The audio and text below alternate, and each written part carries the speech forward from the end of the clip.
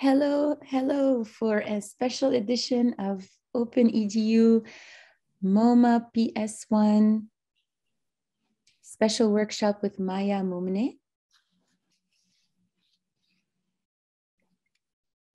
We're so excited to have you, Maya. Everyone, just take a seat, take your pens and papers um, to get ready to have this wonderful lesson or class or lecture or workshop, all of the above, uh, around decolonizing design. And of course, we will dive deeper into that, why we chose that specific title, of course, and the perspectives in which Maya is going to be uh, talking from. This is such an amazing class, amazing. We're about, we're close to 300 students already in this uh, wonderful lunch break. I'm hoping everyone can use the chat to tell us a little bit where you're coming from. And if you are on occupied territory, uh, I'm here uh, calling from unceded territory of the Lenapehoking people. And I am uh, joining Maya and Jenny uh, here. Oops, sorry, one second. Um, and we also have Antonio, who Jenny and Antonio are going to be our American Sign Language interpreters. Big shout out and thank you to Nick from the Slow Factory team for organizing. Big shout out to Krista for helping designing these classes, Paloma, Nicole, and Zoya for supporting Open EDU. Uh, welcoming Maya Moumne, my dear peer from Lebanon, who is now in Montreal, Maya, uh, I'm not going to read your bio because that's not what we do here at Slow Factory. So, in your words, introduce yourself, and then I will shut my camera off and come back to support you on Q&A. Thank you, Celine. Um, hi, everyone. My name is uh, Maya, and um, I co-founded uh, Studio Safar about 10 years ago with my business partner, Hatem Imam. Um, Studio Safar is a design agency and a publisher that's based in Beirut and now Montreal. Um, the studio is mostly concerned with notions of communication across cultural and linguistic barriers. Um, projects span different media and design frameworks such as communication strategies, publications, visual identities, um, exhibitions, uh, set designs, and websites. Um, most of the work services the extended cultural sector um, and is engaged with social and political discourse. And uh, what you see here is a magazine that the studio publishes called Safar. It's bilingual, so it's in Arabic and in English. Um, and it's about design and visual culture in the region. Um, the magazine answers to the lack of critical writing um, on design in the global south, and it works towards acknowledging designers as active agents of cultural production. And the studio is also expanding into publishing books on design in the region.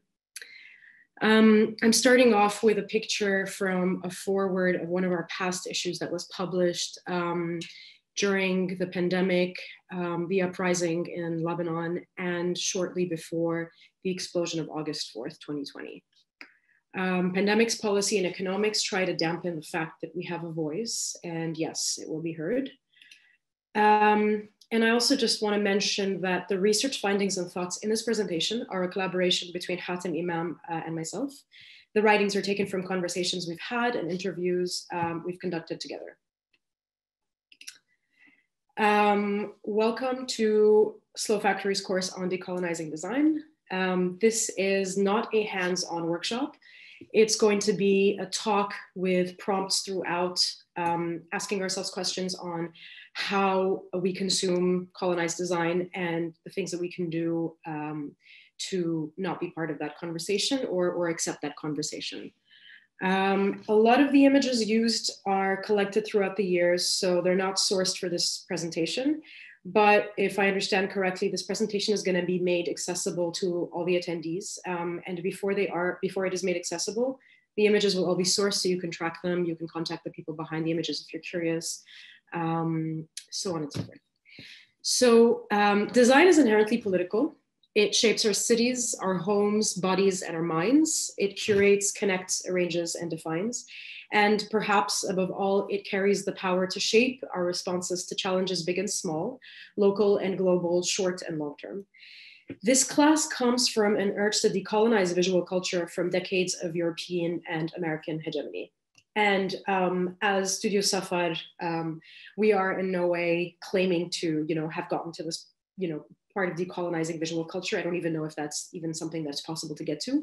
Um, but the thing that's that's worth noting for me personally is that um, what we try to do is take a step back and play a little tug of war between work that we've been, or design, or visual culture that we've been conditioned to um, um uh, kind of consume um, and and reference as as practitioners um, and when we take a step back and say wait is this does this really reflect representation or is this you know um, something that I've been given or told and if if and if if you're a designer and you know um, what the font is that that we're being that's being used in this deck or you know um, what the what the calendar is that's hanging behind me um, you'll probably flag this conversation as uh, hypocrisy. But it's also important to note here that part of this process or part of this conversation is in acknowledging and allowing these things to happen. We, we, we did grow up with this, with this knowledge and with this conditioning, um, and it does make a big part of the way that we consume and the way that we produce today.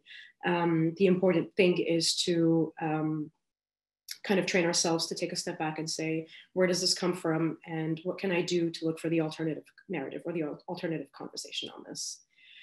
Um, and we are going to go through five sections today. So the first one is um, a brief introduction onto decolonizing design, why we're talking about this today. Um, the second part is going to cover Arabic typography and Arabic calligraphy and the mini rivalry that exists between these two. The third part is going to be stories for children. So I'm not going to go into the actual stories um, in the children's books, but I'm going to talk about um, a movement that happened in the 1970s in the Arab region uh, that played a big, big, big part in um, decolonizing the future. The fourth section is on academia. So um, what publications or what content exists out there um, and is made accessible to us to consume that plays an alternative or that tells an alternative narrative from um, European and American history.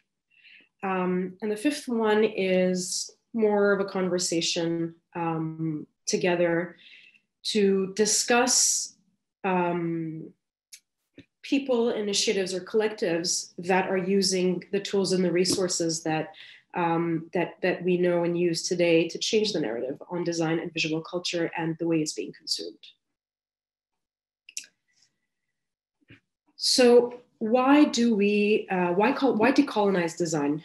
Um, American and European design history and thinking have definitely shaped our understanding of the field of design. And while we may often mistake this for globalization, um, uh, a more accurate term for this is actually colonialism.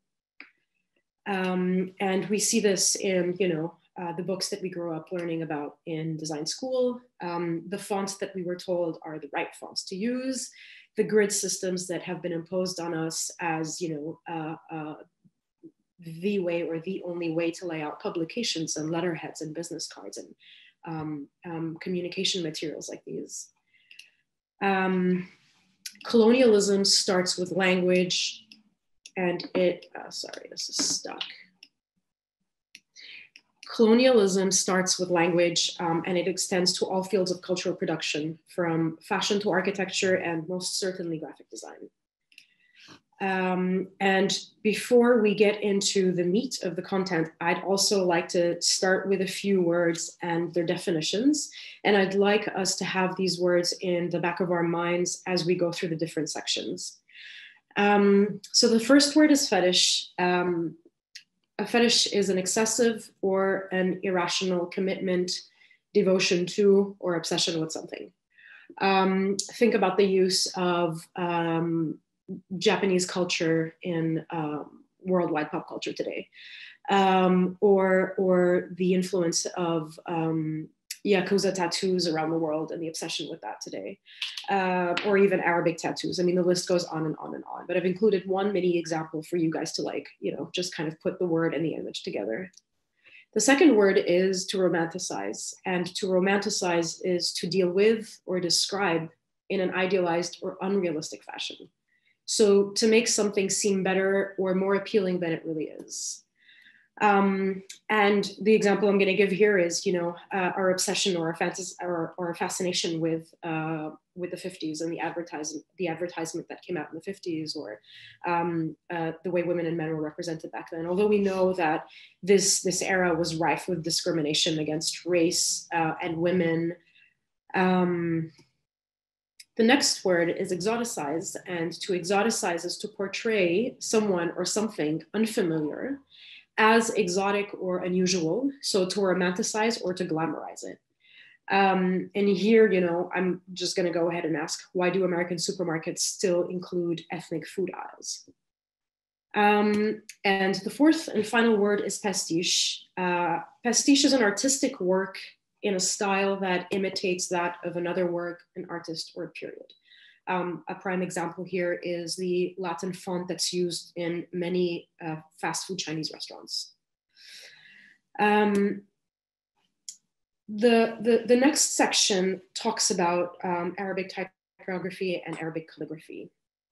Um, and calligraphy, and I mean, calligra- Arabic calligraphy was used for a much, much longer period in in, in printed matter than, than Latin calligraphy uh, was. Um, so, so Arabic fonts were introduced to us at a much later stage than Latin fonts were introduced to us. Um, and a lot of that was also a big part of the introduction of, of Arabic uh, fonts was uh, letter sets too. I mean, for those who don't know what letter sets are, they are what we used to use uh, before computers um, generated the kind of design work that it does today. Um, so they're, they're sheets with repetitions of letters and they're all like kind of um, done with in a certain font.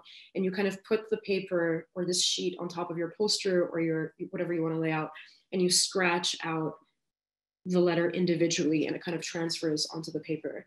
Um, and that's when you create like an original artwork, you scan it, and then you reproduce it as a book or as a poster. Um, and magazines and uh, uh, newspapers or any form of publication in the region, in the Arab region, were all uh, handwritten actually, whether they were uh, written in calligraphy um, or they were hand lettered. And maybe here I can talk a little bit about the distinction between uh, what calligraphy is and what hand lettering is. So calligraphy is um, the Arabic letter form drawn with a brush. Um, and the brush is not necessarily just a paintbrush, it's a, usually a calligraphy pen. Um, and so it's, you know, it starts, you know, you start with one letter and then you just kind of continue with one hand. Lettering is when you literally draw the letter forms by hand and that, that can be on a gridded on gridded paper or it can be free form but those are usually drawn instead of written with one um, with one brush. Um, and so a lot of our publications were completely done by hand. All of the text was written by hand whether it was in magazines or it was in newspapers. This is completely written by hand and not typeset um, on a computer. Um, and m- most recently, I mean, when when when design, when graphic design was being um, uh, given its its own space in the Arab region, so universities were were now including graphic design as part of their uh, curriculums, um, and it was it became a major. And graphic designers now had a name, graphic designer. Before that, they were either calligraphers or painters, whatever. And when this when this um, kind of became a job, like a like a practice, um, we started looking into um, designing fonts in Arabic. And to design fonts in Arabic, I mean, there are, there, there are so many beautiful Arabic fonts that we use today. Um, but the thing here, the tug of war that I was talking about earlier, is when we take a step back and ask ourselves, where do these fonts, where, where does the base of the creation of these fonts come from? Um, a, a, a, big thing that happened um, when we started creating contemporary Arabic fonts for use is that we started um, using the know-how of creating Latin fonts to Arabic. Um, and so we'd apply that same kind of logic that we would to um, designing um, Helvetica to Arabic. Um, and the problem with that is that Arabic fonts started taking on the form of Latin fonts. Um, and you can see that vividly in the layout. So they'd have the same um, leading and the same kind of kerning. And if you squint your eyes looking at this, um, you kind of, you almost can't squint your eyes enough that you can't tell the languages apart. You actually can't tell them apart anymore because they are meant to have the same letter forms, but communicate in different languages. And I mean, of course, while most of these fonts are beautiful and we all use them, it's also just worth noting that um, at some point we all asked ourselves, why are we basing Arabic font creation on the way that we create fonts in English instead of using um, the history of how Arabic fonts was, was consumed or was produced, um, which was calligraphy based. And there was, you know, a period of, of, of connecting English to Arabic. And so, you know, our layouts seemed seamless like this. They looked seamless. And so it was so easy to design a bilingual poster or a bilingual book because the, the Latin and the Arabic occupied the exact same space. One wasn't screaming louder than the other. But the problem with this was that the English, the Arabic was almost always following the logic of the English. Um, and you can see here, even in the letter forms of the Arabic, it's all monospaced, whereas when we would, you know, when when when, when Arabic um, is written in calligraphy or even hand lettered, there's a thick and thin that plays a big part here um, that that we stopped seeing at some point. Um, and this resulted in, you know, an obsession with creating bilingual logos that almost looked identical, um, the English and the Arabic counterparts. I mean, so whether the English existed first and then we created the Arabic, or we were creating them both at the same time, there was a fixation with making sure that the English and the Arabic were exactly identical and occupied the same amount of space, even though this brand was, you know, um, um, being created for a, a, client in the region and whatnot. Um, and if we just take a step back and we look at how Arabic letter forms were created um, before the introduction of contemporary Arabic fonts, um, we'll see that you know it is so varied and it comes from a place of um, a lot of experimentation, a lot of thick and thins. And I'm not, I'm no expert on typography and certainly not in Arabic typography, but this is a question that we ask ourselves a lot in our practice. Um, and at Safar, what we do is we um, either use or either collaborate with calligraphers um, or we um, use calligraphy as a base um, to to to derail from and then create you know uh, a letter form or a shape in which uh, we're happy with and doesn't necessarily copy uh, whatever exists in English. And if you've ever been to Dubai or the Gulf, you'll notice that all of the shops in the malls um, exist in their English logos, but they have their Arabic counterparts. So it's by law there that if you were to open Tiffany and Co, you had to have an Arabic version of Tiffany and Co. And so what we did is we exactly replicated Tiffany and Co in Arabic. And the way that we did that is we used the letter forms um, from the Latin logo to create the Arabic. And so you'll see serifs used on the Arabic here, and although, you know, and the and is replaced here, although this doesn't exist at all in the history of Arabic typography. Um, and and to, to take a font that's less, you know, uh, classical, um, Massimo for example, was, you know, exactly, we replicated that kind of like Latin hand-free drawing or signature-like to create it in Arabic. Um, and I'm gonna look, I'm gonna just take you back here to take, to tell you that um, calligraphy wasn't, I mean, if we look at this, it's quite traditional in its form. And, and the reason why we, we became obsessed or fixated with the idea of moving into um, uh, contemporary uh, Arabic typography or borrowing from the, the way that we design Latin fonts is because these look, these look very traditional. And, and, and traditional means that these were used in uh, since the Ottoman uh, Empire. Um, and these are used in um, religious texts or textbooks. Um, and a big part of colonialization is also to make us move away from this, right? To make us move away from um, the influences of Ottoman art or, or, or Quranic art um, and, and miniatures and all of that stuff. Um, and, I'm, and I'm including these slides to also show you that it's not all, it doesn't all look like that. The past Arabic script doesn't all look like that. A lot of it is very experimental, actually. Um, but to understand what the original how the original letter form um, is drawn or written um, means that we can use it as a base and derive from there to create um, very experimental hand lettering in Arabic. But as long as we know what the base is, right, we can move away from that. And then we can start using uh, visual cues to lay it out on uh, our page or on our headers. Um, and you'll see here a, a, very interesting detail is in old magazines, um, not the calligraphers, but the Arabic um, uh, type letterers used to sign their work even though this was the headline of an article in an Arabic magazine, for example. Um, and there are, you know, so many different forms that these took shape in. Um, and colors. I mean, here you can also see that the letter forms are quite mono um, in, in, in width, but um, it also comes stems from a certain convention or a certain place. Um, stories for children. This is a, a, a, section that is very dear to my heart.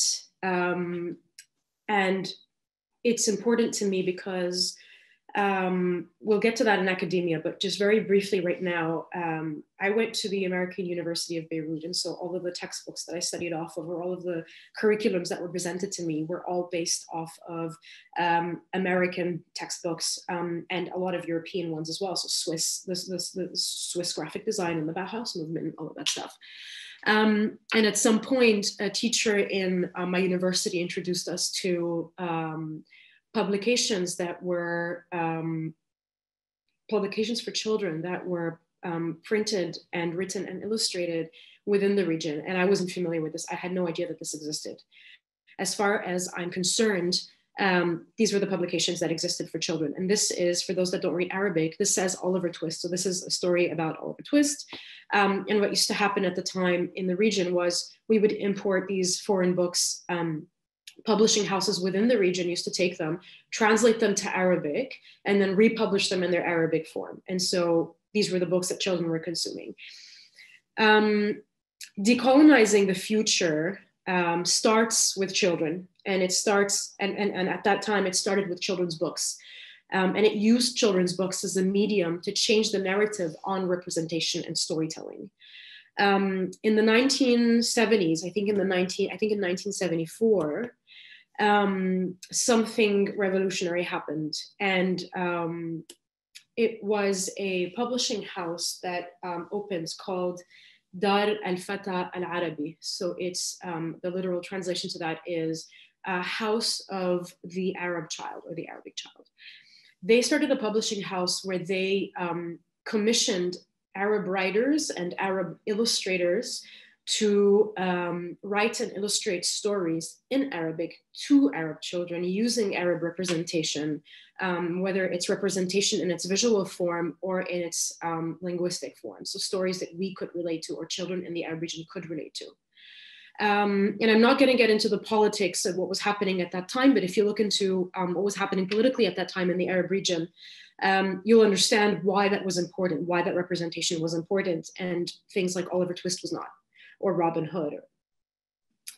Um, and a lot of the things that, that came about were um, um, publications such as this one called Alphabaiyat Palestine, so the, the Palestinian alphabet. Um, so it's a it's a it's a it's an alphabet book or an alphabet poster, um, um, but it's but it's called the Palestinian alphabet. Um, and it's called the, alpha, the, the, Palestinian alphabet because it used words to accompany the letters in the alphabet that were representative of the time, the era, and the audience. Um, and here we'll look at this. So this is the poster format of this publication. And here I just want to stop here to take a to take a look at um, what was being used as a representation for these words and, and why they were there. Um, and so things that were that were important here were uh, um, O for orange, um, and orange was important because um, uh, Palestine is the land of citrus. It produces a lot of citrus.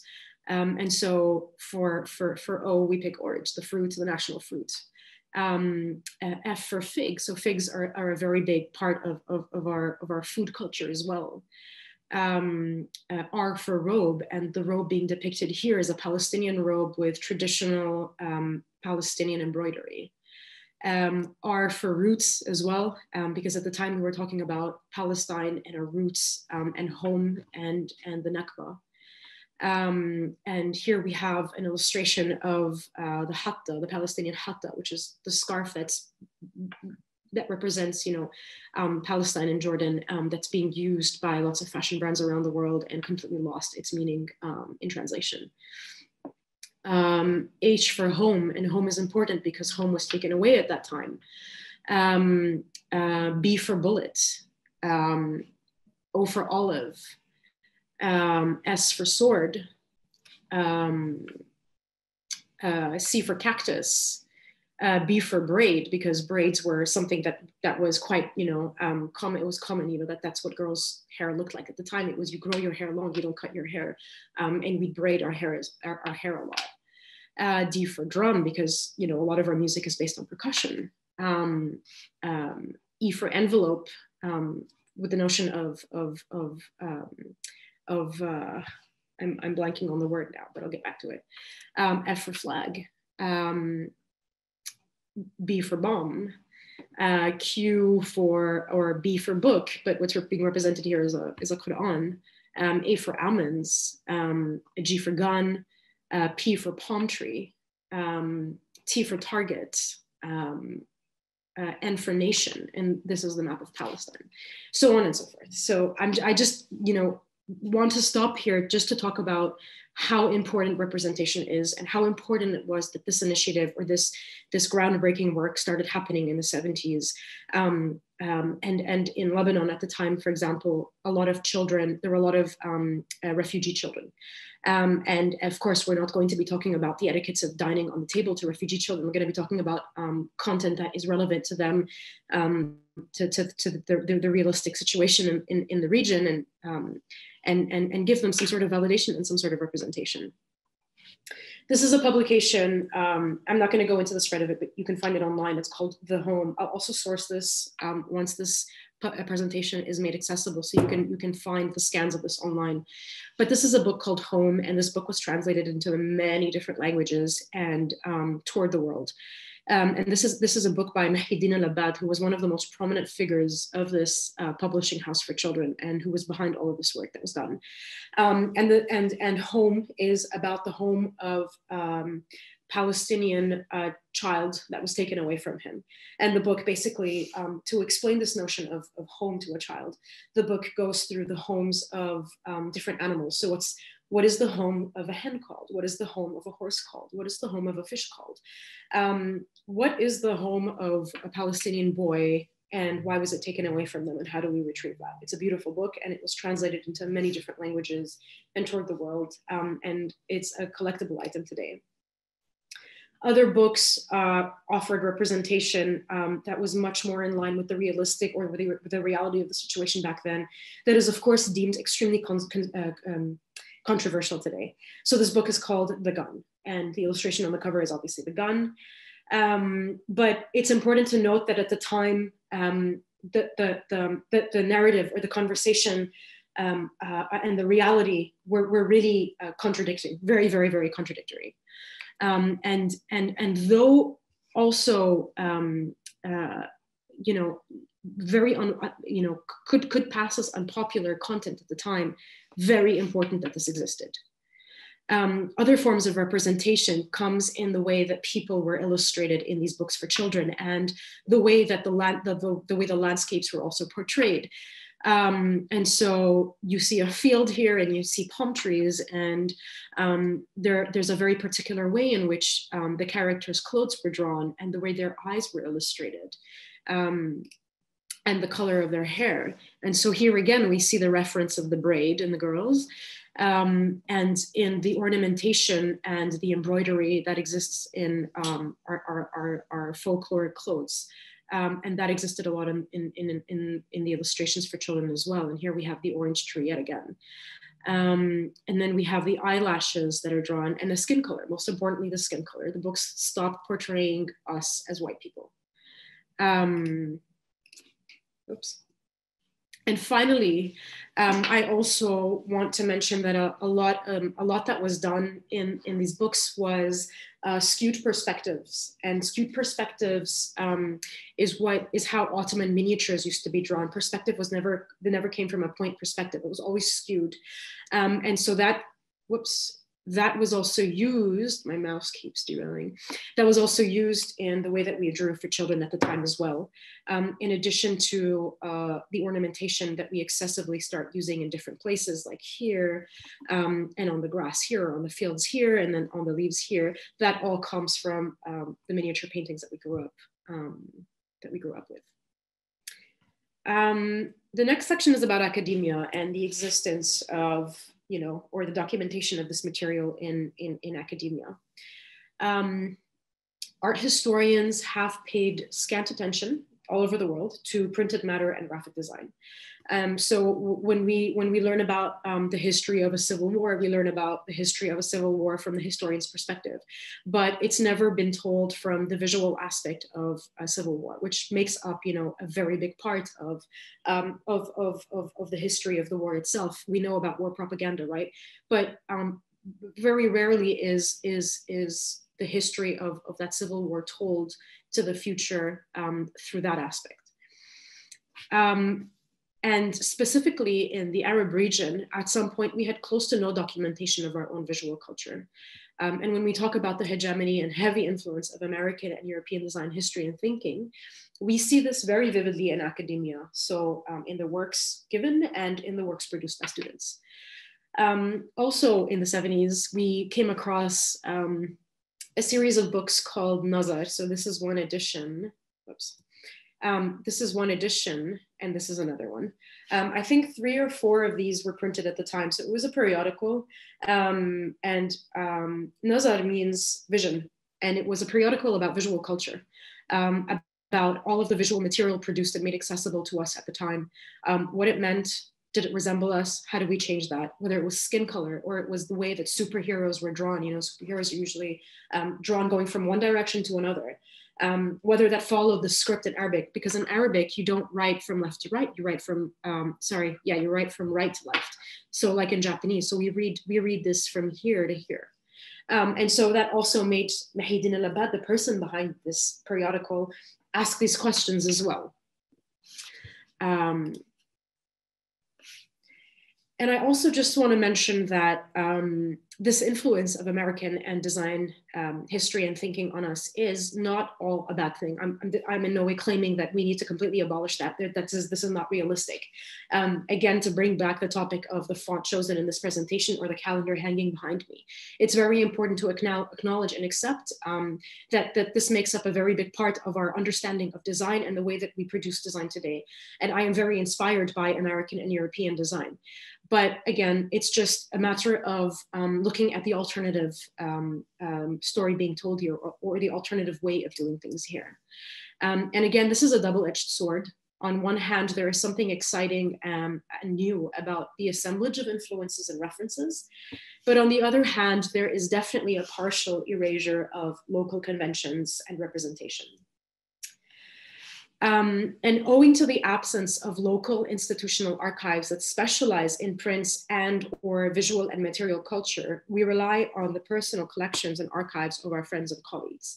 Um, a lot of personal initiatives have um, been stemming out in the, in the last 10 years to personally take this on, to document this um, you know, visual material and make accessible to the public. Uh, this is just one example and it's called the Ahala Studio that's based in Dubai at the moment.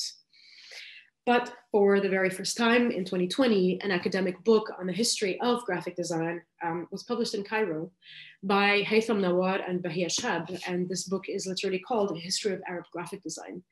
Um, and this book covers the um, timeline of graphic design before it was graphic design. So um, before graphic design was, was given a name in the Arab region, it was painters and calligraphers that would design posters and books and you know uh, campaigns and that sort of thing. And so they cover that timeline from back when to today, and they cover you know there, there's a lot of um, um, studies on current graphic designers and their works and the work being produced and um, it's, it's a great book and I recommend it. But there are also a lot of other books that are being published at the moment. And these are more, these slides are more resources for you. They're, they're not wholesome. They're just, you know, um, what I wanted to show today. But these are also, if you're interested to take screenshots and, and read these books, these are really very important publications that exist today. This one is called Off the Wall by Zeina and it's um, basically a history of the Lebanese civil war told from basically the, the, the visual realm of it, the visual aspect of it, um, and that is the political posters that um, occupied the entire city. Um, another series of books is published by uh, a publishing house called Khatt Books, um, and they go, you know, uh, artist by artist or designer by designer, um, and they do, you know, it's quite, it's quite, a, they're quite thorough books on designers at the time and artists at the time. Um, and again, these did not exist before, and it's really amazing that you know um, this resource is, is ever growing today. Um, another great book that was recently published, I think it was, it came out last year, is also by Zeina Maasri. It's called Cosmopolitan Radicalism. Um, and it talks about Beirut's global 60s um, um, from the visual realm. So the visual politics of Beirut's global 60s.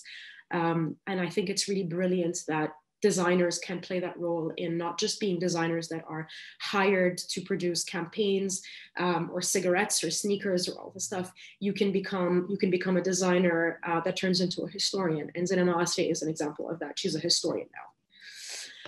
Um, the final section is called changing the narrative. And here i'd like to invite you um, at the end to um, help me challenge the narrative or help me challenge you know what i've been talking about today and ask questions. Um, design and politics go hand in hand. As designers we've been trained and encouraged to apply our skills and imagination to sell inessential things at best. Um, like cigarettes and sneakers, credit cards, recreational vehicles. This is taken from the First Things First manifesto. Um, but we've been we've never been encouraged. Um, actually, we've been discouraged from uh, speaking up or tackling politics and mental health and environmental and social crises, and the list goes on and on and on. Um, and here I'd just like to take a moment to talk about um, or to show you a few initiatives that are changing that narrative on, on design, on colonized design as we know it, um, and carving out that space for um, typography that is taking on a new form. Um, this one is called Type Platform. Um, again, I will link these in the presentation and, and you can follow them. Um, there is also Type Lab based in Cairo that is a research space on the developments and dissemination of Arabic letters. Um, this is another initiative um, that I that is very dear to my heart um, that was done by two graphic designers called Farah Fayyad and Siwar Ereitim during the um, Lebanese uprising in 2019, at the end of 2019 they um, moved their silkscreen machine to the streets where the protests were happening and designed these really beautiful prints for people to bring in their own t-shirts or tote bags or posters or anything um, that communicated chants that were being chanted on the streets or in popular songs at the time. Um, and people would just gather and have them printed. And so we had this we had this moving campaign all over the city um, that was perpetuating for the fall of, of, of the regime in, in lebanon. Um, and then there's a platform called uh, type arabi which um, is and i'm going to read what it says the uncivilized experimental platform dedicated to the preservation and evolution of arabic typography and type design. And this was based in qatar um, and you know, I mean, the list goes on and on and on. Women in typography. That's not necessarily um, based in the region, but it's it, it, has an emphasis on celebrating women and non-binary people. Um, lots of initiatives on Arabic type. And the, the example I'd like to end with is a radio station um, that stemmed from Palestine called Radio Al Hara. And although this isn't um, a design project, it's a radio station, it's about music. Um, a big part of Radio Al Hara's you know, dissemination across the world and the success and the, and the, the, the, the reach it's made is, um, I think, due in part to its visual communication. Um, and this is done in collaboration with a, a, a Jordanian type studio called uh, Turbo. Um, so to go back to the, the question that, um, or, or, or, the statement I made earlier, which is uh, we're not, I'm not claiming as Safar to be decolonizing design in any form or way. Um, we do, we do we do try our best to ask ourselves these questions and apply um, this notion of taking a step back and, and playing a little tug of war game with what we've been taught and what we're learning on our own. Um, and, and the history that we're, you know, kind of scratching out to find and, and, and make, make public and accessible to, to everyone. And how do we take that? What can we do with that as designers? Like what I'm a designer, right? I get commissioned to design um, uh, a clothing brand, the identity of a clothing brand, um, or the posters for a music festival.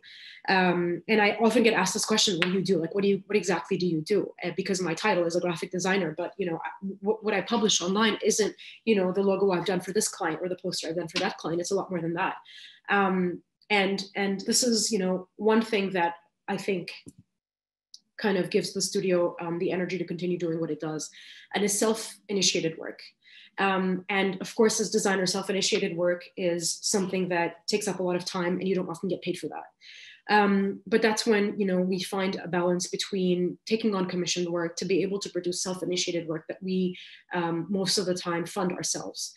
Um, one of the things that we do is again Safar, and in Safar, the reason why uh, we put this out is to discuss the effect or the impact of design um, on visual culture, on the visual realm, on cultural production. So um, how does the design of passports, for example, passports is a big thing for us in the Arab region because our passports usually can't take us all over the world. And if you have a Lebanese passport, you can barely go anywhere with it without having to apply for a visa. And visa processes are very expensive. And a lot of times you get rejected for a visa depending on, you know, your history and your name and all of that. Um, so one of the things that we do at Safar is, for example, talk about things that are like content that's accessible or questions that are accessible um, to people who are not designers. Like, um, do you know what the design of your passport is saying exactly? Um, so we, you know, tackle the topic of um, hierarchy in, in, in, education systems or um, passport designs and how the passport of the design actually um, influences or informs the way that the passport gives you access to different ports around the world um, and it, that that's really important really really important for us because if we were to continue having this conversation with people that are just designers then this conversation is not going anywhere. It's just staying within the circle of designers.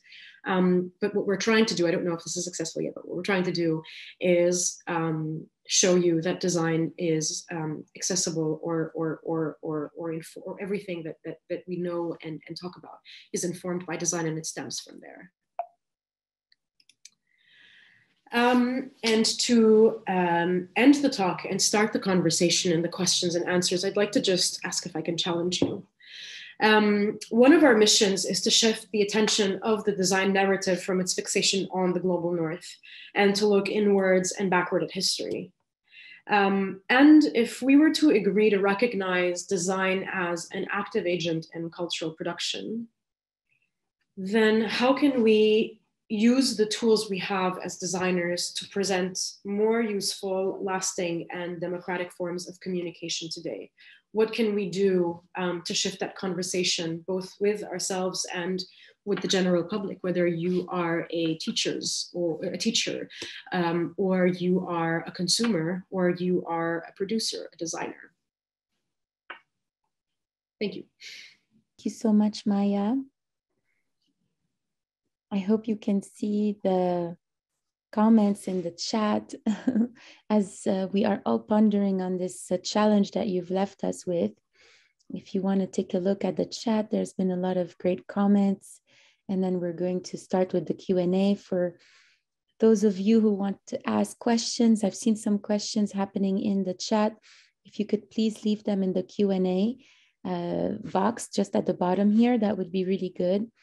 And for those of you who um, are working on this and would like to share your thoughts as well, I would love for you to use the Q&A. That way it would be great to just, it's an easier way to, to read your, your comments.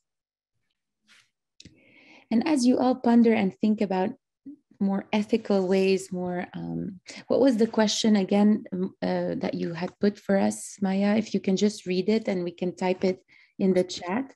Of course. Um, the question is how can we use the tools we have as designers to present more useful, lasting, and democratic forms of communication? So we're designers. We actually have a very big impact in the way a business um, a business's sales go up, up or go down.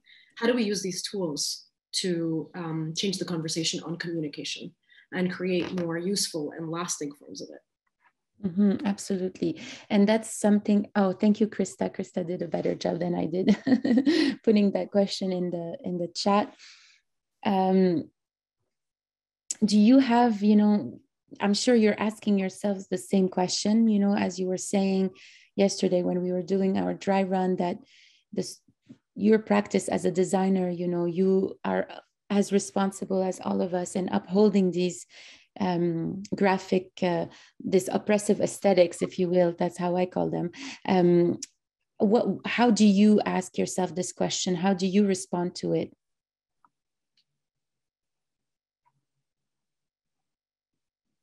You're not asking me, are you? Yes, I am. Oh, you are. You are. Can you repeat it? Because I was reading the questions. I thought you were asking. okay, okay. I was asking like yesterday when we were together in our uh, practice session, and you said, you know, you are as responsible as all of us in upholding these oppressive aesthetics through your work because your clients are asking you to essentially you know create something that's going to communicate and that's going to reach people. And um, in a lot of ways we have to use certain systems that are familiar. And so because they're familiar they're oppressive at the same time. How do you respond to this question? I know you are asking this this question daily. I know you have projects on the sides where you have more creative freedom, like, for example, uh, Studio Safar, the magazine, and Al Haya magazine, and other projects that you're working on. So, how do you uh, answer this question?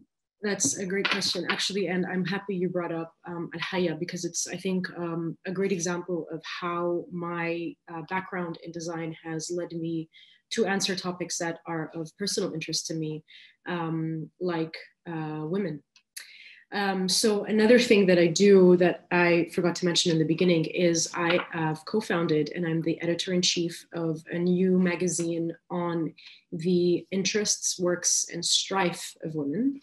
It's published in Arabic and in English. Um, and the reason that this was started, I started it with um, For Other Women. And the reason why we started this was because there um, is no publication um, in the region or the world that offers representation to um, women like myself and my partners.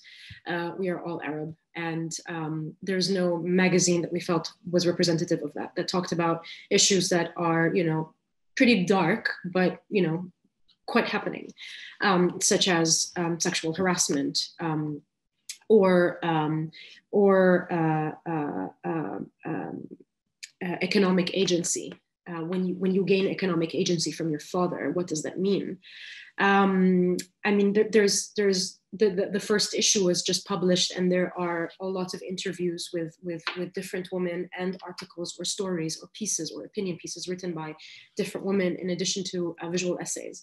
And though if you look at this project on its own, I mean, this takes up literally half of my time as much as Safa does.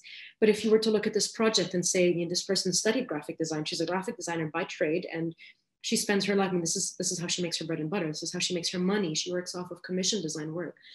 This has nothing to do with design, but actually it does. It has a lot to do with design. Um, and if I wasn't, if I didn't start from design, I wouldn't have had it in me um, to start a magazine on women. Um, and that that's that's exactly you know that's exactly where i'm trying to get at with the question i ask at the end of the deck um, which is when we're told that we shouldn't be speaking up about politics or um, or, or, or or climate justice or anything that you know that matters to us um, then we don't right? And when we realize that actually we should and we do and being a graphic designer means i actually can talk about these things and i can create a campaign um, that reaches a, a, a very big number of people um, and, and I do it and it does, then I know that now I'm being, you know, kind of um, not censored, but being kind of like dumbed down in, in with regards to what I do and what I say. Um, and one of the things is, is, is again, the self-initiated work that I talk about. Another um, important thing that we do at Safar is, um, for example, in light of recent events in the Gulf uh region, whether it's with Dubai or with Saudi Arabia, um, we've taken the decision to no longer work with um, any artists or, or initiatives that are funded by um, any, any Gulf governments or ministries or anything like that, because um, an art biennial in one country is, you know, created to, to, to wash away, you know, um, like with Expo 2020, I mean, I don't know if, if I can be talking about this now, but what Dubai is doing with Expo 2020 right now is completely washing, you know, the, the, the, the what's happening politically between the UAE and with Israel. Yes, and there has been a lot of backlash. And again, yeah. it's like the use of design as an oppressive tool rather than as a liberatory tool. Absolutely. Uh, in the Middle East, often uh, we are at odds with, with our own liberation, our own freedom for many in many ways structurally culturally through design through fashion uh, through the lack of access to land agriculture. Um, we can go there. That's a whole other class. Um, well let's let's let's answer juliana's question. As she's asking uh, or, or they're asking in the west design is understood as something that should be functional and usually used to sell a product are there examples or is there a history of Eastern design questioning this? Always needs to be functional, especially, or functional, she goes, perspective of design, like functionality. It seems that you explained about fonts expressed something of this kind, like using fonts and typography. But I think that because from what I understood through your class and other Open EDU classes on Arab design is that you know, design wasn't a field, a practice. It was more around art and illustration, and it slowly became a field to to meet the the request and the the, the criterias, let's say, that we have uh, adopted from the West. Uh, so, can you elaborate on that? Of course. Um, so it's so I, what I mean by that is is is that uh, the field of design is new all over the world. I mean, even even in the West, it's it's it's um, it's it's it's not a it's not an old um, mehni. What how do you say mehni in English? Uh, um, um, Métier in French. Um, it's not a work. Yeah, it's not a. It's not. It's not an old profession. Profession. It's not an old Career. profession. It's not an old profession, um, and and and and it's even newer in the Arab region. And and so what I was saying about that was not that it was not given its space, but up until we you know got to a time where it was called graphic design as a profession um, we, we relied on calligraphers and painters and illustrators to do the work of graphic designers. Um, and um, Juliana, I mean, I'd, I'd love to invite you to also, I mean, I'm not a, an expert at this and, and what I know is what I've shown. I'd, I'd, I, I'd, inv- I'd love to invite you to, to, to, to tell me also about your findings. I'd love to know more about this and learn more about this and document this and make this accessible. Yes, absolutely. And the Slow Factory would love to host a class around that. But just from our own observation, we can say that there is a lot more openness towards art, and art form, design as an art form in the in the East, um, more around storytelling and less about function. And when it does come around function, there still is a lot of it tied into folklore and into traditions in a lot of ways. And of course, modernism is trying to break that relationship. And uh, our fight throughout design and fight is a maybe not the correct word, but our exploration, our research, our interest lies in between connecting the dots with our past, as well as building something that is quote unquote modern because the modernization of our work, our stories, our culture has been uh, a lot, if not all of it, influenced by colonial aesthetics and colonial values. And so modernism is, is a, a topic of discussion, right, in the Middle East. Absolutely. Absolutely. Let's go to Wali Akhter. Uh, the original laws of calligraphy are very tough and you can't really move away from these laws. So how do you start? Uh, Pakistan is not ready for decolonization of design. Haha, they won't let me. That's cute. So um, how do you start when you know that there are some laws or some rules within the calligraphic world of Arabic lettering that cannot be broken? the, the, the, the, the, the, a big part of, of what I was trying to say basically in the presentation is that there, the, the laws, these law, what we're calling laws and rules, have been imposed on us, whether they are grid systems or the ways that we design typography that's based on Latin typography, those are rules. And calligraphy also is no exception to that. Calligraphers have certain rules and conventions and expect people to go by that. If you're to call yourself a calligrapher, you must follow the rules and the conventions. The point I'm trying to make is to break away from these rules. You make the rules, right? We all make the rules. This is how we change this. This um, this is going to become history, right? In the next 100 years, this what we're doing now is going to become that history, and people will talk about this. So what I'm trying to say is change that rules. And if you're saying that Pakistan is not ready for that, well, make it be the first person to start that. You can. um, I, I, thought I was muted. I was looking for the mute button to come back because I was I, I, was taking a note um, that I found here in chat that was very good. That was Joe Pacal saying, "I've been recently reading Arturo Escobar, and he talks about design for transitions and I was like, "Ooh, I like that. Let me let me look into that." Um, uh, in regards to breaking the rules about design, of course, design is all about constraints, rules, and then once you understand them, then you can allow yourself to breaking them. This is not a question that's here. This is more a question from a designer to another. Uh, for instance, at the Slow Factory, you know, we understood the the the, the constraints, the main constraints that are around communicating really complex ideas to the general public in the most seamless way possible. And our way to breaking the rules of our own decolonial agenda uh, was to use a colonial font, was to use the most colonial font ever, and to be like, that's the font we're using exactly. to talk about that. So that, uh, that, just to say as an example, that was our way of breaking the rules um, but I would love to hear your thoughts on that. And then we move to Nita Verma. Well, we share the exact same thoughts on that. That's why I had mentioned the font we use in the presentation or the calendar hanging behind me. And not to say that the only way to go about this to decolonize design is to move away from that completely. We cannot move away from that. Use it, make it part of the conversation. Mm-hmm, 100%. Nita Verma says, How do you see pedagogy shift to become more inclusive between global north and global south?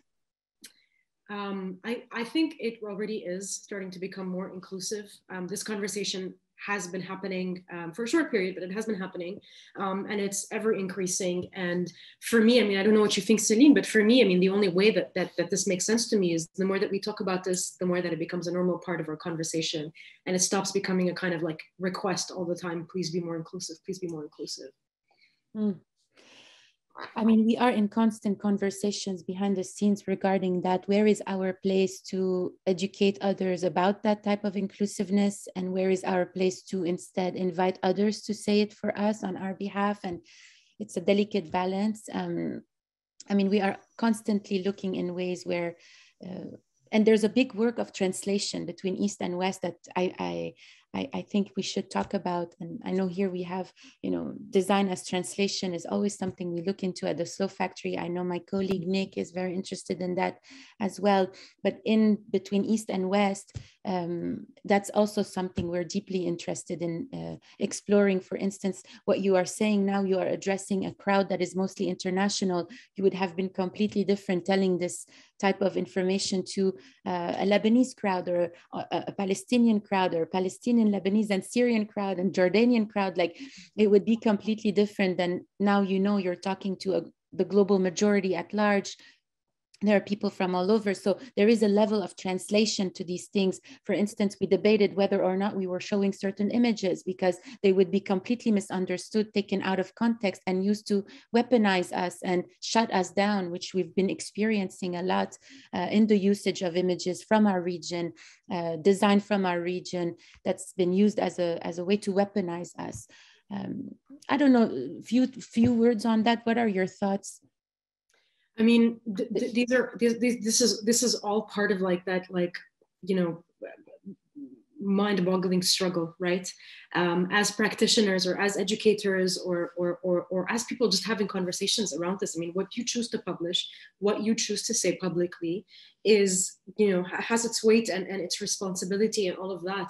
And as you said, what, what, what you choose to show or say is also your responsibility in making sure that that doesn't, that's not taken. And yet again, um, um, what's the word for something that overtakes something, um, uh, dominated completely and transformed into a different definition. And so you have to make these unfortunate decisions as well. I mean, there were lots of um, images, what, what is referring to was a lot of images that we wanted to include today, um, specifically from the Stories from Children section that we agreed to in the end remove because um, although they played a very big part in changing the narrative for Arab children um, and showing an alternative representation of the reality of life for Arab children, we decided to remove them um, just to make sure that these weren't going to be misinterpreted or reinterpreted um, and, and, and have that become the dominated part of the conversation and we lose the message we're trying to make completely.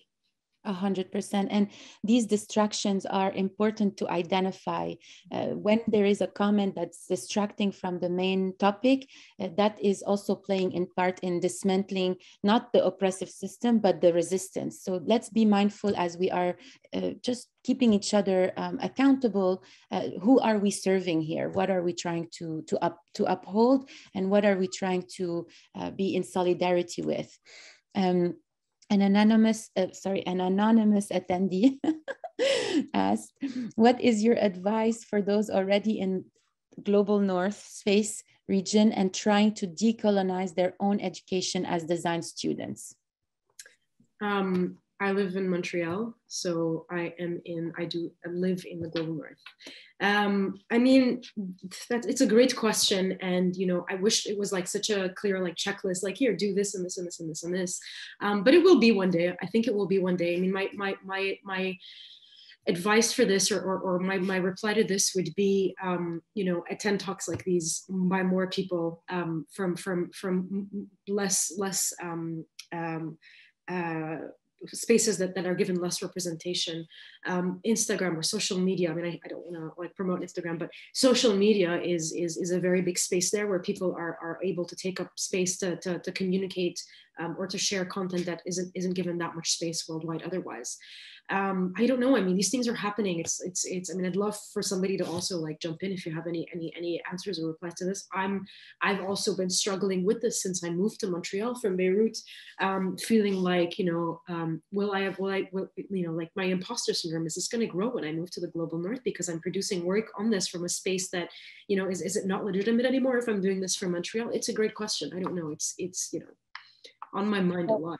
A hundred percent. I mean, some of us are here not by choice, but by, you know, survival. Some of us are here because our entire communities depend on us to succeed in the belly of the beast. So uh, it depends on your relationship with power. I would say, and of course, a list is always what we are asked. Give me the list, give me what I need to do. And a lot of times it's very hard to compile a list because at the end of the day, it's simplifying and minimizing a lot of experience that is missed out on the list. So you check check check and then where do you where are you within this list basically? I would say in our own way we are encouraging a lot of our peers, students, participants to watch foreign movies, uh, old foreign movies with subtitles if you can find them. Um, there are certain platforms that are easier to find these foreign movies like shasha.com, uh, Habibi Collective, potentially. Um, also on YouTube, you know, like there's, if you do a, a quick research on Google and find some titles, sometimes they are available on YouTube and uh, they are subtitled and why i'm suggesting films because uh, to decolonize it's also about culture and what better way to to see the the to really understand culture by trying to live it and trying to understand it through the lens of a film or through the lens of a, an independent author or sometimes even um, you know minorities within minorities in the region of the global south that are given a camera and and being able to do all this so it's very interesting to to watch to to learn more about culture and decolonize our mindset by watching films and movies Absolutely. that are not from america or the united states thank you dolores for that note uh, hi maya Joe Pacal is asking, thank you so much. I'm working on a speculative design project exploring intersectional design. To what extent do you feel arts movements are deliberate and pers prescriptive rather than consequential and post explicated? I'm not sure I understood your question, Joe, um, very well. I don't know if you can reply to it.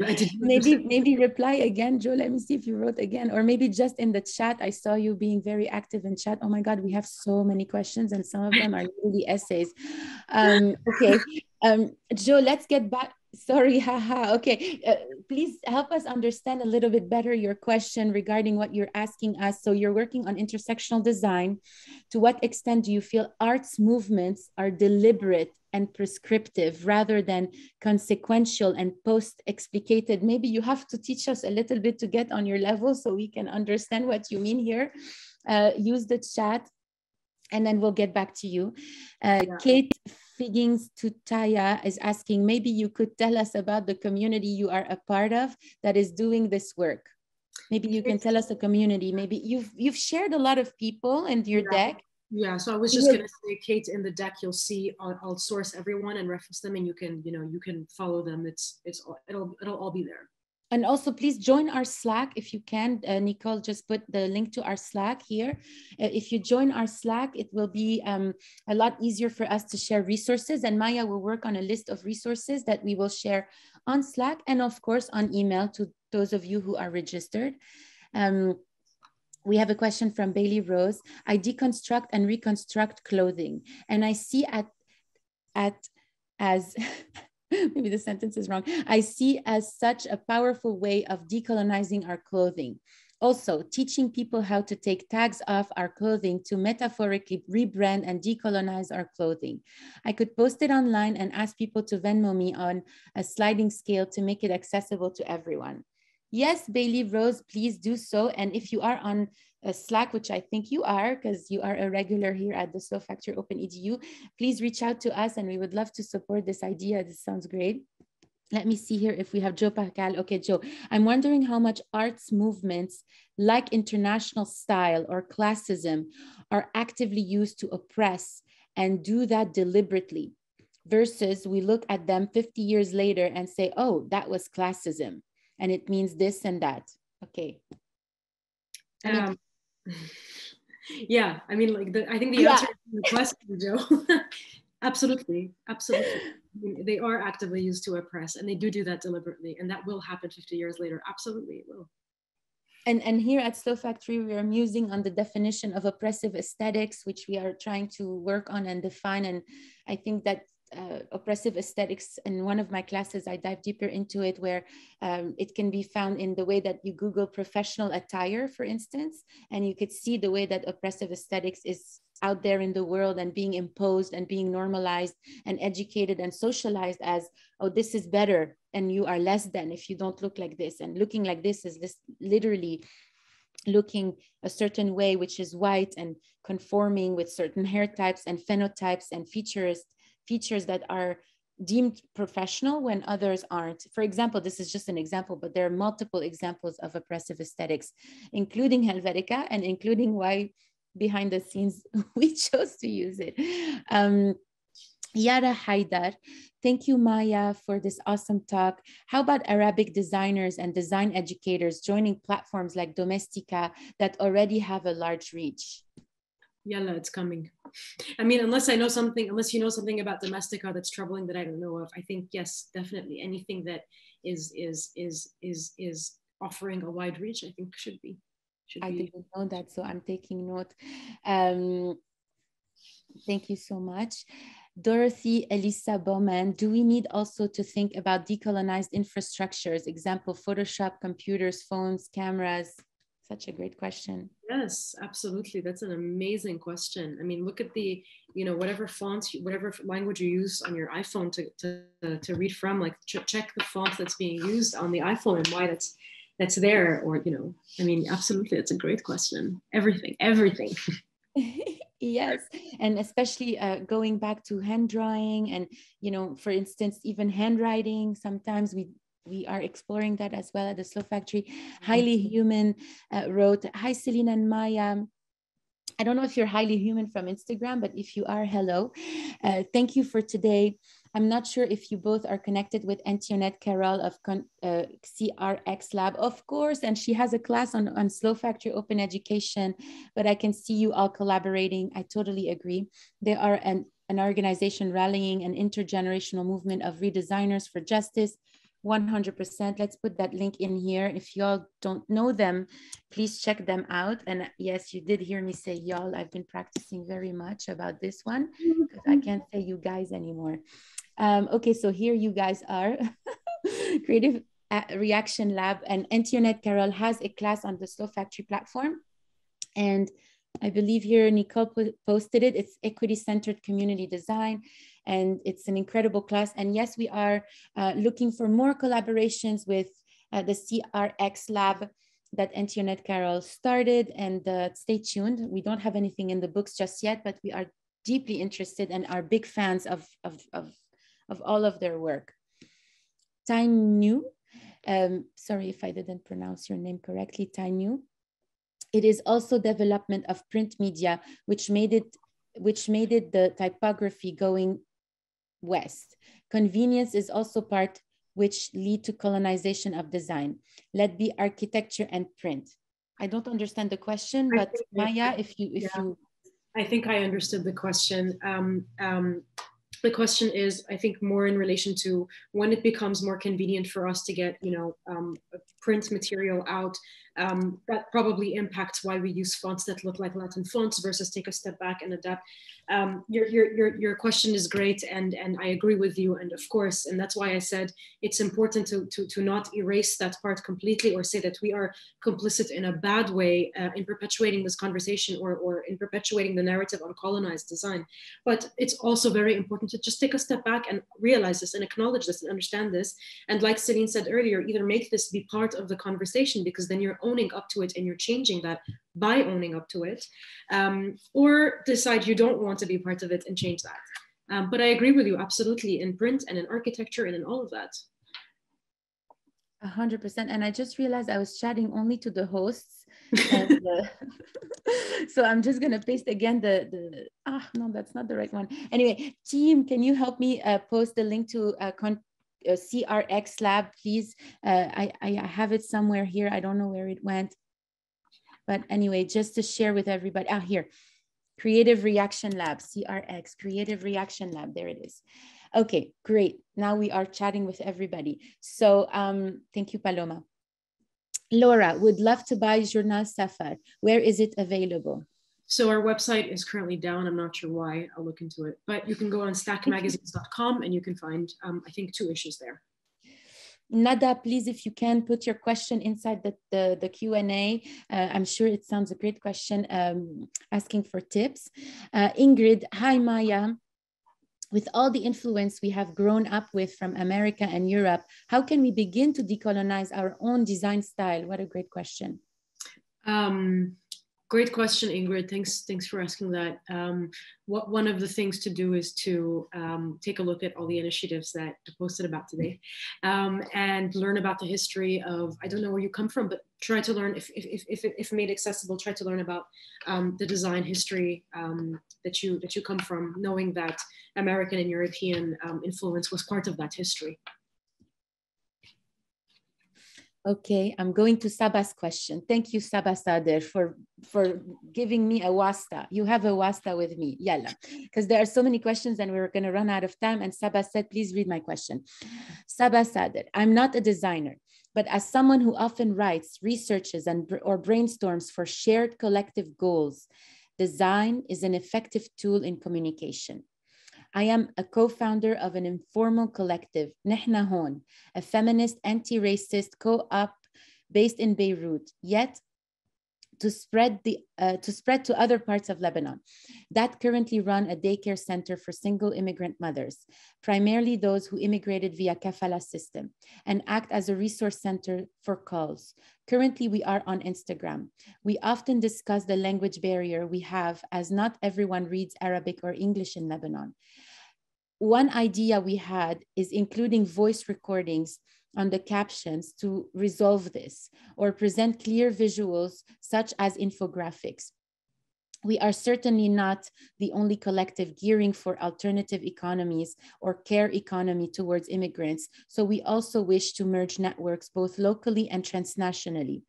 The need to use a different medium such as sound or visuals is included in this challenge all feedback is welcome. Thank you. Thank you, Saba. I'm going to um, find ways to reach out to you. Uh, if you can, uh, I don't know, share your email just with me or with our team. Uh, we would love to support. Uh, um, also, thank you, Saba. Also, I'm, I would say uh, for someone like me who is an illiterate in Arabic, I don't know how to read and write. I was uh, taken away from my country, uprooted so young. And when I came back, I was a rebel. I did not want to read or write or learn. but I love the Arabish and I can def I speak Arabic and I love Arabish, which is basically writing Arabic in English letters. And um, that helps. And I find my weakness and my disability in learning my own language also helping me in what we just talked about translation and design or reaching everybody in design working on access and accessibility. So um think okay I, I got your email sorry. And um definitely uh, i'm gonna i'm gonna write it down because i can't copy paste somehow. But um i'm going to to reach out. And maya do you have anything to add to that um, just very quickly, I mean, first, hi Sabah, how are you? um, I'm, I'm, I'm very happy to read about the initiative. Um, I didn't know at all anything about that. Um, and I will also, I, will also reach out to you, um, but later. But uh, what I wanted to say is it's a great question um, because a lot of the initiatives or the work that we do out of the region usually is meant to target people from the region. And we forget that people from the region are also migrant domestic workers.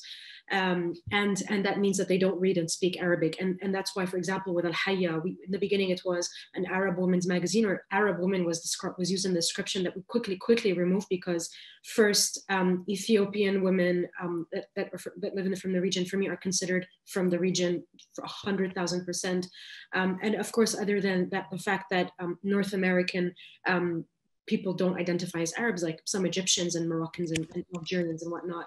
Um, but I would say ask them, make them part of the conversation around that, or make them part of the solution. Uh, and is it Sabah? Sorry, I didn't Sabah. know. Sabah, okay. Okay, let's go on. We have 10 more minutes. There's millions of other questions. Maya, do you want to go and like select one of them so that it's not just me going chronologically? Sure, I'm just gonna scroll. I'm Except sorry. for Saba, who, who, who gave me a little wasta on the side, so I went for it. Please read my question, Habiba. Okay, okay. Go ahead. Where are you, Habiba? I can't see you. That's all anonymous, anonymous, anonymous. Um, I'm ah, Habiba. Hi, Maya. I'm working on my bachelor project on Arab women asserting their influence in the Arab art world.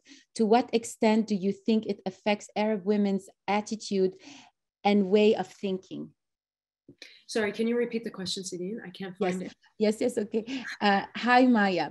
I'm working on my bachelor project on Arab women asserting their influence in the Arab art world to what extent do you think it affects Arab women's attitude and way of thinking? To what extent what? Design?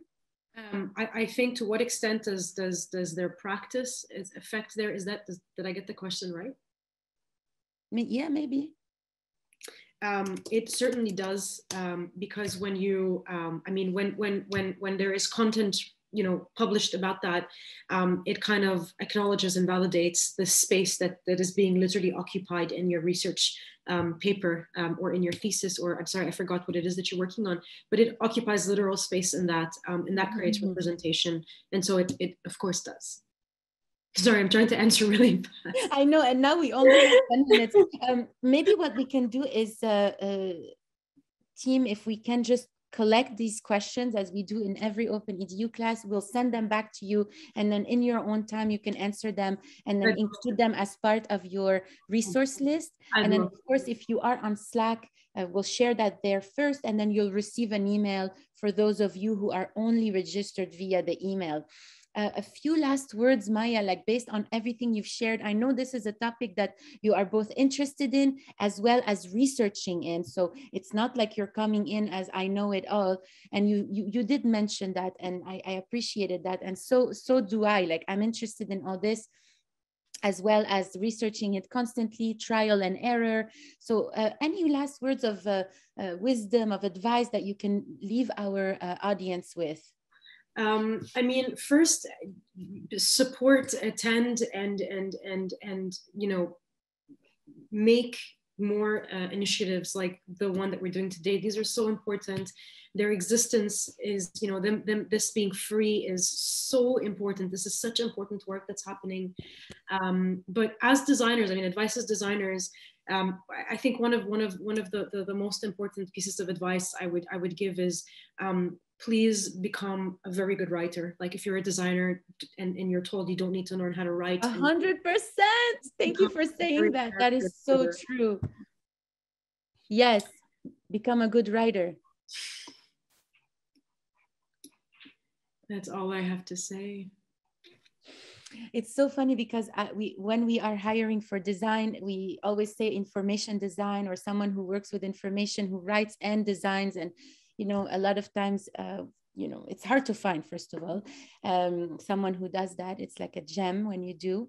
And, um, and a lot of times designers are like well but i have other qualities. I do other types of design or i do illustration and so on and so forth. And now i think that designers are faced with even more of a responsibility to be more, uh, generalists if you will so that you can translate because the work of a designer is very much the work of a translator to understand culture to translate it back to the public to understand the machine if you are a ux designer translating it back to um, the end user etc etc and so um, especially when you work across cultures like like us you have to be able to to have this quality of of being a good writer or at mm-hmm. least at least having the interest of writing or researching or um, definitely. One last question that caught my eye. What are barriers or limitations that you faced maya? Meaning what barriers limit this kind of authentically democratized decolonial design work. I'm a non-designer, but work in an art museum, so I'm adjacent. Curious to hear more about your thoughts about other barriers, seen and unseen. And I think this is Ilk Yasha. I don't know if I pronounced your name correctly, but your question is amazing. It's an amazing question. Um, actually, I'm gonna I'm gonna refer I'm gonna answer this by referring to a question somebody else asked, Tom Takigayama, um, and Tom asks, I so appreciate the work put into the surface uh, into surface the root sources. How do you approach the line between inspiration and appropriation? And my answer to you is that um, my first language growing up was not Arabic, it was English. And I went to an American high school and an American university. Um, and so Arabic was spoken, it was my first language, but reading and writing it wasn't. It was something I learned as an adult. Um, and the, the, the, the, um, the fraud that I grew up, you know, feeling when I was applying this into my work, um, one of the barriers was was that was that line between inspiration and appropriation. Um, if I didn't grow up reading and writing Arabic, then am I appropriating that as an adult? Am I use it in my work? Um, I think that's that's what I would answer with if I were to pick one and Tom, I don't know. I I don't know. It's a it's a conversation, and it's a brilliant question, and it's a question I ask myself, um, and my partner and I talk about all the time. Um, I don't know, but it's I do know that the one way to approach this this fine line between inspiration and appropriation is to have a conversation about it. A hundred percent. And that is why this space is so sacred for us. Open EDU is a place of conversation and uh, it's a place of uh, documenting and, um, and codifying certain educations that were not provided to us in mainstream education educational institutions, whether abroad or here in the global north. Um, so please, if you find this interesting, do consider supporting Open EDU. Open EDU is free, accessible education for all. And we do uh, survive thanks to the generous donations we receive, monthly donations or one-off donations. And we do support our instructors and providing them uh, an honorarium that is way above market for teaching us and helping us build this curriculum for all. So please, if you love what we do, consider donating. A monthly donation goes a long way. Uh, we are so grateful for you. We have been um, able to run and to go this far with all of your support and now because of our activism with palestine and i mean not now we've always done that but now more and more because it has uh, really through design and our work, we've we've um, really reached a bigger audience than ever before. And so now our work is being stigmatized and targeted, um, and support is uh, is is everything we need, especially from our public, so we can remain unapologetic into what we say and what we do and what we teach within the Slow Factory uh, curriculum and institutions. So please consider donating if you love what we do to keep us alive. Thank you so much, Maya. Thank you all. Thank you, Antonio. Thank you, Jenny, our interpreters. We are so grateful for you. Thank you, um, thank you, um, Nick, for organizing this. Uh, thank you, Paloma, Nicole, Krista, Zoya, for helping us behind the scenes, supporting us. And thank you to each and every one of you. Uh, please stay in touch. Uh, there's a class on Friday with Mandy Harris Williams who is Ideal Black Female on Instagram. If you follow, she's incredible. They are going to give us the most amazing class, I'm sure. Please join us. And thank you again so much, Maya. I know you just landed from Lebanon, and I am yeah. so grateful for you. You did amazing. Um, I'd, love to, I'd, love to, answer all of the questions um, when I have a moment, and I can do that through my Instagram account. If you guys share all the questions with me, um, I'll we answer will. everyone's questions on Instagram. So, and do please follow Maya Moumne on Instagram, just like it's pronounced. I'm gonna leave it here, Maya Moumne, with H, no? Yeah, without an H. So it's M A Y A M O U M N E. M N E without the H. Okay. Forget the first one and use this one. Yes. Thank you so much, Maya. It's been amazing. Thank you so much, Antonio and Jenny. We are so grateful for you. And um, thank you, everyone. We'll, we'll keep the questions uh, rolling and then we'll get back to you all. Bye, Maya. Thank you. Have a beautiful Bye. afternoon. so much. Thank you, everyone from Slow Factory. Bye bye. Thank you. Bye.